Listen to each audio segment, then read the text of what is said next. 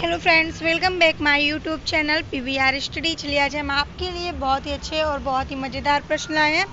जैसे कि आप सभी को पता है कि आ, आ, आज के समय में G S is the most important ठीक है? और हर एक एग्ज़ाम में पूछता है हर एक एग्ज़ाम में कंपलसरी है कि ये क्वेश्चन आने ही आने हैं ठीक है? तो चलिए हम GS को देख लेते हैं और जो आपको क्वेश्चन होगा उससे संबंधित उसके बारे में कुछ जानकारी आपको इस वीडियो में देंगे।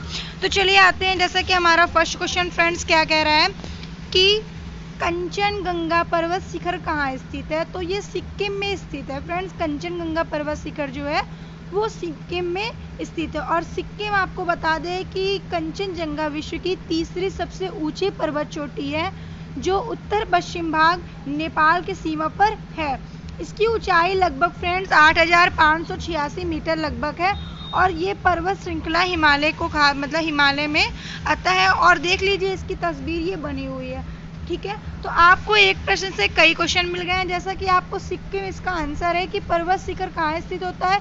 कंचनगंगा का। तो वो सिक्किम में होता है और सिक्किम तीस, क्या देखिए, सिक्किम से क्या क्वेश्चन पूछ सकता है? जैसे कि यहाँ पे पूछ सकता है कि कि आ, मतलब कि सबसे ऊँची पर्वत कौन सी है? या फिर पूछ सकता है कि तीसरे नंबर पर सबसे ऊँची पर्वत कौन सी है? तो आप बता सकते हैं कि सिक्किम है ठीक है?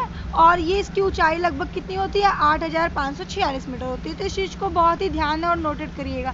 चलिए सेकंड क्वेश्चन पे आते हैं फ्रेंड सेकंड क्वेश्चन हमारा क्या कह रहा है कि सूर्य के सबसे नज़दीक ग्रह कौन सा है? तो फ्रेंड्स आपको बता दें कि सूर्य के सबसे नज़दीक ग्रह बुध ग्रह है और बुध ग्रह सौर मंडल का आठ ग्रहों में से सबसे छोटा ग्रह है और सूर्य के निकटतम इसका परिक्रमण काल लगभग 88 दिन में होता है और पृथ्वी से देखने पर यह अपनी कक्षा को इर्द गिर्द एक दिवसों में मतलब कि एक दिवसों में ये घूमते नज़र आएगा और जो ग्रह में सबसे तेज ये चलता है। तो ये जो हमारा बुद्ध ग्रह है, देख लीजिए, इसको मरकरी इंग्लिश में बोलते हैं और ये बहुत ही इंटेलिजेंट बहुत ही बुद्धिमान ग्रह है। वैसे भी बुद्ध के पास बुद्धि तो होती है फ़िलहाल, लेकिन ये बहुत ही इंटेलिजेंट ग्रह है, ठीक है? तो चलिए आगे क्वेश्चन पे आते हैं। फ्रेंड्स हमारा थर्ड क्वेश्चन क्या कह रहा है? आगे का हमारा क्वेश्चन बोल रहा है, पूर्वांतर सीमांत रेलवे का मुख्यालय कहाँ स्थित है? तो मालीगांव मालीगांव में पूर्वांतर सीमांत रेलवे का मुख्यालय स्थित है। और आपका बता दें आपको कि ये मालीगांव का जिला कौन सा है फ्रेंड्स कामरूप मेट्रोपॉलिटन ठीक है? कामरूप मेट्रोपॉलिटन मालीगांव का जिला है और शहर गुआ गुवाहाटी शहर है, ठीक है? तो इस चीज़ को बहुत ही ध्यान रखिएगा, इससे भी बहुत संबंधित प्रश्न हमारे पूछे जाते हैं। आगे बताते हैं प्रथम भारतीय फ़िल्म राजा हरिश्चंद्र के निर्माता कौन थे? दादा साहेब फलके जी। दादा साहेब फलके जी, वो फ़िल्म राजा हरिश्चंद्र के निर्माता माने जाते थे। और ये जो गोविंद फलके मतलब इन्हें दादा साहेब फलके जी को गोविंद फलके का भी नाम से जाना जाता था। उसके साथ साथ इनको दादा साहब फलके के नाम से भी जाना जाता था। और दादा साहब फलके जी वो महापुरुष थे जिन्हें भारतीय फ़िल्म उद्योग का पितामह कहा जाता था और Dada Saheb Phalke sir J J school of art से ये पढ़े हुए थे और एक कलाकार थे और मंच के अनुभवी हुए अभिनेता भी थे और साथ ही ये एक जादूगर थे। और सबसे बड़ी बात तो ये है कि वो भवन बड़ौदा से फोटोग्राफी का एक पाठ्यक्रम भी किया करते थे। तो इनके अंदर बहुत सारी खूबियाँ हैं, ठीक है? चलिए आगे क्वेश्चन पे आते हैं हम। थर्ड क्वेश्चन हमारा क्या कह रहा है? देखिए क्वेश्चन है थर्ड की, असम के कौन से व्यक्ति भारत के राष्ट्रपति रह चुके हैं? तो असम में जो राष्ट्र मतलब कि ऐसे कौन से व्यक्ति हैं जो भारत के राष्ट्रपति वो रह चुके हैं? तो आपको पता होना चाहिए कि फखरुद्दीन अली अहमद जी ने वो भारत के राष्ट्रपति रह चुके हैं और इनका जन्म 13 मई 1905 में दिल्ली में हुआ था। इनकी मृत्यु 11 फरवरी 1977 में दिल्ली में हुआ था और इनका कार्य था कि भारत के पाँचवें राष्ट्रपति ये थे, ठीक है? तो भारत के पाँचवें राष्ट्रपति थे और ये असम के भी राष्ट्रपति हैं। चलिए, आगे क्वेश्चन पे आते हैं फ्रेंड्स सातवां क्वेश्चन देखिए, हमारा क्वेश्चन ये क्या है कि पुस्तकवार एंड पीस लेखक कौन है? तो पुस्तकवार एंड पीस लेखक लियो टॉल स्टॉय, ठीक है? ये लियो टॉय स्टॉय उन्नीसवीं सदी के सम्मानित लेखकों में से एक है और इनका जन्म कब होता था? 9 सितंबर 1828 को रूस में इनका परिवार रहता था और उन्हीं का जन्मदिन वहाँ पे मनाया जाता था और उनके जन्म मॉस्को से लगभग 100 मील दक्षिण में स्थित रियासत में हुआ था। इनके माता पिता का देहांत बचपन में ही हो गया था और ये बचपन से ही बिना माता पिता के रहते थे। ओके फ्रेंड्स तो चलिए आगे क्वेश्चन पे आते हैं। आगे क्वेश्चन हमारा क्या कह रहा है फ्रेंड?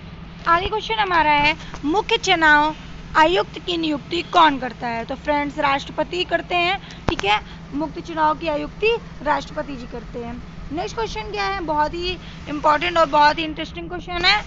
ए मेरे वतन के लोगों, आपको तो गाना बहुत पसंद होगा, आप लोगों को फ्रेंड्स कि ए मेरे वतन के लोगों, बहुत ही अच्छा गाना है। एक बार आप सुन के ज़रूर देखिएगा।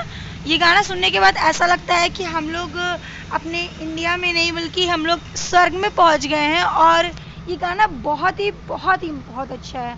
तो चलिए देख लेते हैं, गाना पे नहीं आते, नहीं, आप लोग भी सुनते ही रह जाओगे। मेरे वतन के लोगों देशभक्ति गीत किसने लिखा था?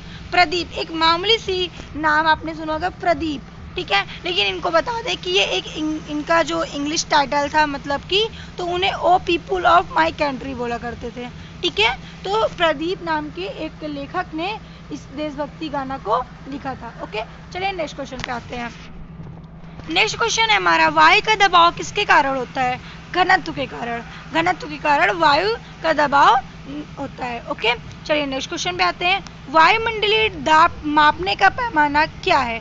वायुमंडलीय दाब मापने का पैमाना फ्रेंड्स बैरोमीटर। बैरोमीटर से वायुमंडलीय दाब को मापा जाता है। ओके चलिए आगे क्वेश्चन पे आते हैं। अमीमा में कुल कितने शैल या कितने कोशिका होते हैं? फ्रेंड्स एक कोशिका होते हैं। चलिए पहले अमीबा के बारे में कुछ बात कर लेते हैं। अमीबा। अमीबा एक ऐसा जंतु है जिनका कोई आकार ना आकृति होता है और ये बिना आकार आकृति के होते हैं। इनकी आकृति और आकार हमेशा बदलती रहती है और उसके साथ साथ ये अपना भोजन स्वयं नहीं बनाते, ये दूसरों पर निर्भर रहते हैं। और आपको सबसे बड़ी बात बता दें कि अमीबा जैसे इन्हें, इन जंतुओं को, ठीक है, जिसे अक्सर अमीबो इट कहा जाता है। क्या कहता है फ्रेंड्स अमीबो इट कहा जाता है और ये एक प्रकार का एक कोशिका या एक कोश की जीव है। जो अपने आकार को बदलने की क्षमता रखता है और ये मुख्य रूप से स्यूडोपोडस को निकालने और पीछे हटने से अमीबा का एक एकल वर्गीकरण समूह नहीं बनाते हैं। और इसकी बजाय वे यूकैरियोटिक जीवों के लिए प्रमुख वंश में पाए जाते हैं। और सबसे बड़ी बात तो ये है कि ये अपने कूटपात के द्वारा भोजन करते हैं। सॉरी चलते हैं। ओके चलिए नेक्स्ट क्वेश्चन पे आते हैं। नेक्स्ट हमारा क्वेश्चन कह रहा है, नागालैंड भारत का विधिवत राज्य कब बना? उन्नीस ईस्वी में नागालैंड भारत का विविध राज्य बना। ओके चलिए नेक्स्ट क्वेश्चन पे आते हैं फ्रेंड्स नेक्स्ट आखिरी क्वेश्चन है और बहुत ही इंपॉर्टेंट क्वेश्चन है आपका। मुख्यमंत्री की नियुक्ति कब करते हैं? कौन करता है? राज्यपाल करते हैं। मुख्यमंत्री की नियुक्ति फ्रेंड्स राज्यपाल करते हैं। तो मैंने आपको इस वीडियो में 15 क्वेश्चन बताया और जो बहुत ही इंपॉर्टेंट है फ्रेंड्स और मैंने पूरे एक्सप्लेन के साथ आपको इस वीडियो को बताया है, ठीक है? तो इस वीडियो को आप अंत तक ज़रूर देखिएगा और एक एक क्वेश्चन को समझिएगा। देखिए 15 क्वेश्चन आपको इस वीडियो में बताए गए हैं, लेकिन अगर आप देखेंगे तो आपको इसमें से कम से कम 25 क्वेश्चन मिलेंगे, ठीक है? तो इन सारे क्वेश्चन को बहुत ही मोटिवेशन करिएगा, बहुत ही समझिएगा, बहुत ही अच्छे से देखिएगा। ओके फ्रेंड्स आज के लिए इतना ही। Next video next day